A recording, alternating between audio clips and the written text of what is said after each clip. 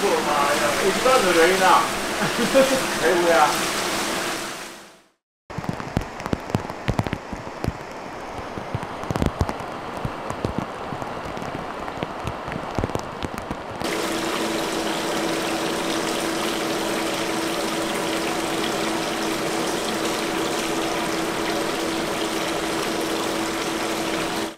あ、待ちに待ったばりや。ああ、あれ、もう、大勢行くまで、遠けや、ここは。お久しぶりです。元気やった？ありがとうね。お世話様やね。いい、全然。またよろしくお願いします。よろしくお願いしますいってらっしゃい。いい。やっぱり気持ちよいね。英語や。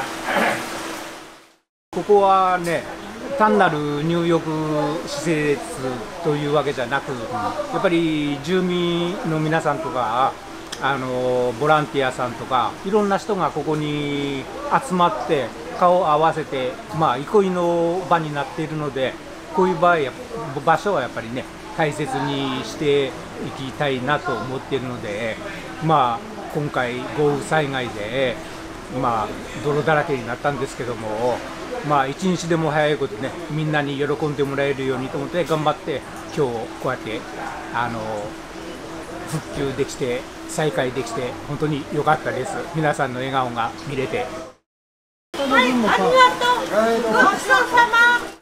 人ってやっぱりお風呂入るとほっとするじゃないですか、みんなバラバラになってた人たちがもうお風呂に来たら知り合いと会えてお話できるとかそういうサロン的な場所になってたりするんで、そういう点が一番あなんか渋い顔で来た人が大抵みんな笑顔で出て行ってくれるんで、まあそそれが一番。です